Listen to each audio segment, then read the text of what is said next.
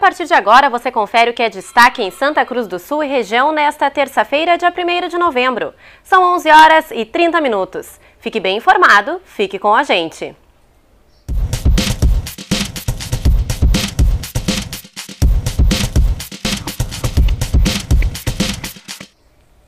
Olá, tudo bem? A gente começa o Gazeta Notícias de hoje falando sobre mais um caso de imprudência no trânsito. Dois veículos se envolveram em um acidente por volta das 10 horas da noite de ontem na Avenida Euclides Kliman, no bairro Arroio Grande. O condutor de um Corsa Wind com placas de Vale do Sol colidiu na traseira de um Renault Logan. Conforme a polícia, o motorista apresentava sinais de embriaguez e se negou a fazer o teste do bafômetro. Os condutores foram encaminhados à delegacia de polícia. Ainda sobre segurança, a Gazeta do Sul desta terça-feira publica uma matéria em que revela que nesses 10 meses de 2016, 40 pessoas foram assassinadas em Santa Cruz. O número, o número é o dobro do registrado em todo o ano passado. A maioria das vítimas tinham até 25 anos e, em 80% dos casos, foram mortas a tiros. Com 34 óbitos, os homens são os, é, são os principais alvos. Já dos seis casos em que mulheres foram vítimas, três tiveram alguma motivação passional e outros três tinham relação com o tráfico de drogas. E os santa cruzenses que desejarem comprar flores para entes queridos que já se foram vão poder contar com atendimento especial neste feriado de finados. No Mercado das Flores da Independência, por exemplo, o funcionamento será de plantão para atrair quem deixou a compra para a última hora. Vale lembrar que o cemitério municipal ficará aberto das 7 horas da manhã às 5 horas da tarde e o cemitério ecumênico da Paz Eterna das 7 e meia da manhã às 7 e meia da noite. Outros serviços, como supermercados, vão funcionar em horário de domingo. Conforme os sindigêneros dos vales do Rio Pardo e Taquari, os estabelecimentos têm a liberdade para seguir suas próprias diretrizes. Alguns estarão abertos das 8 da manhã ao meio-dia e das 5 horas da tarde às 9 horas da noite, enquanto outros preferem não abrir durante a manhã. E a gente vai para um rápido intervalo e na sequência você confere por que o Museu Barão de Santo Ângelo está gerando polêmica em Rio Pardo. Nós voltamos já.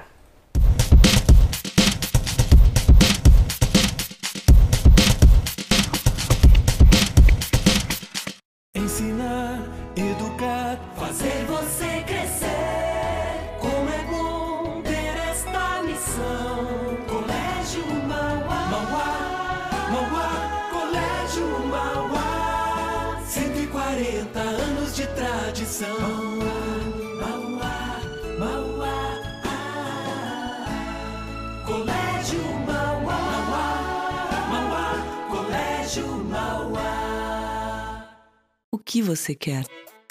Quero expandir. Quero evoluir. Quero ampliar o sentido de sala de aula. Quero subverter a lógica. Quero transversalidade.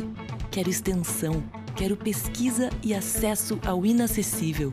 Quero aprender com os mestres e doutores. Quero conhecer e entender. Eu quero mais. Vestibular de Verão Unisque. Inscrições em unisque.br.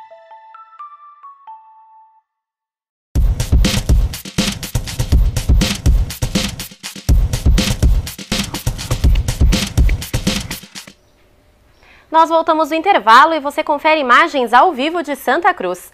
A chuva predominou durante a manhã desta terça, mas o calor segue. A previsão é de que a máxima chegue aos 34 graus hoje e o mau tempo vai persistir pelo menos até este feriado. Reinaugurado há pouco mais de um mês, o solar Almirante Alexandrino, em Rio Pardo, segue gerando polêmica entre os moradores locais. Em decorrência das chuvas torrenciais registradas nos últimos dias, o prédio voltou a apresentar goteiras. Não bastasse isso, é possível que algumas peças do Museu Barão de Santo Ângelo estejam sendo manuseadas de forma incorreta. A coordenadora do espaço, Aida Ferreira, fala sobre o descaso com que uma das principais relíquias históricas do município vem sendo tratada. O do Almirante é a casa mais antiga que está em pé, construída em 1790 onde nasceu o reorganizador da Marinha Nacional. E é um acervo muito rico, é um acervo assim, historicamente muito rico, onde nós sempre recebemos muitas visitas, inclusive de bem longe, de outros países. As pessoas vêm até Porto Alegre, vêm até Rio Pardo, por ser uma das quatro vilas mais antigas do Rio Grande do Sul. Né? E o museu sempre foi o, o ponto de chegada, a, a, sala de visita da, dos, dos, dos visitantes sempre foi o museu. Então me entristece bastante essa situação agora. Quando foi para fazer a sessão de tombamento municipal, essas peças foram todas acomodadas numa única peça.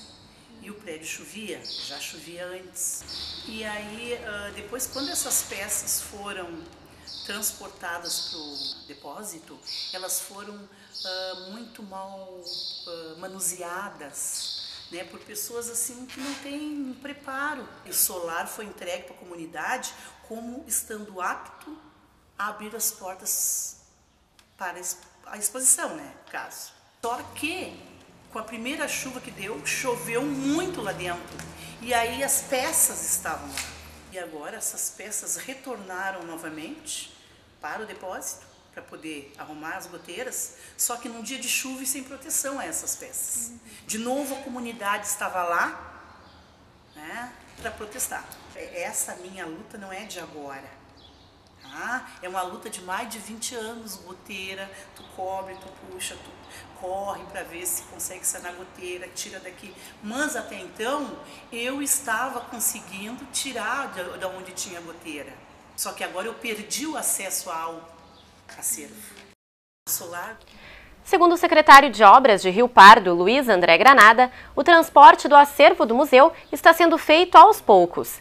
Ele afirma também que ainda há infiltrações por conta do tipo de telha que cobre o prédio. Para conter o problema, a pasta presente eh, pretende colocar uma manta sob o telhado. A ideia é que o museu seja reaberto no próximo mês.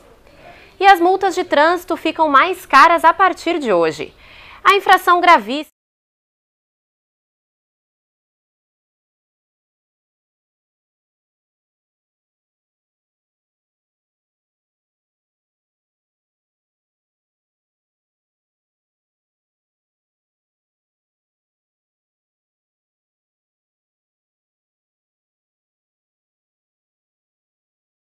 dezesseis centavos. De acordo com o Código de Trânsito, a receita arrecadada com a cobrança das multas deve ser aplicada em sinalização, engenharia de tráfego, policiamento, fiscalização e educação de trânsito. O Gazeta Notícias de hoje fica por aqui. Mais informações sobre Santa Cruz e região você confere na edição das 7 horas da noite com Luana Rodrigues. Até mais!